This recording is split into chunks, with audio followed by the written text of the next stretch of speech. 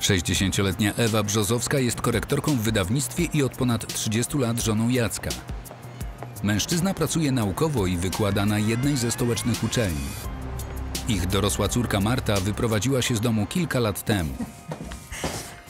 Oczywiście, że utrzymam kontakt z wydawnictwem. Powiedziałam szefowej, że od czasu do czasu chętnie wezmę jakieś zlecenie. tak, zamierzam być aktywną emerytką. Kochana, y, muszę kończyć, bo właśnie weszłam do domu.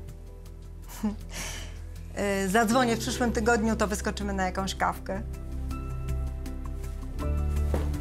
Cześć, kochanie. Co tak siedzisz? Źle się czujesz? A właśnie, kupiłam ci te krople na wątrobę, gdzieś tu je ma. Nie teraz, usiądź. Musimy porozmawiać. Coś się stało? Nie, a właściwie tak. Ewa chce się rozwieść. Musiałeś mieć naprawdę ciężki dzień. Opowiadaj. Przestań, mówię serio.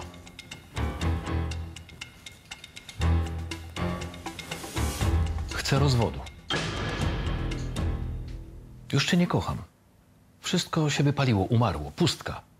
Nic już nie czuję, rozumiesz? Nie, nie rozumiem. Byłem u adwokata, powiedział, że jeśli zgodzisz się na rozwód bez orzekania o winie, wszystko pójdzie szybko i bezboleśnie. Jacek, ty naprawdę nie żartujesz. Nie. Chcesz teraz odejść? Po 34 latach małżeństwa? I to w momencie, kiedy ja odchodzę na emeryturę? No przecież tego chciałaś. No, oczywiście. Bo myślałam, że na emeryturze będziemy mieli więcej czasu dla siebie. Gdzieś wyjedziemy, coś zwiedzimy. Przykro mi, ale nic z tego. Ale myślałam, że jesteś szczęśliwy. Nie jestem. Przy tobie czuję się staro, nic mi się nie chce.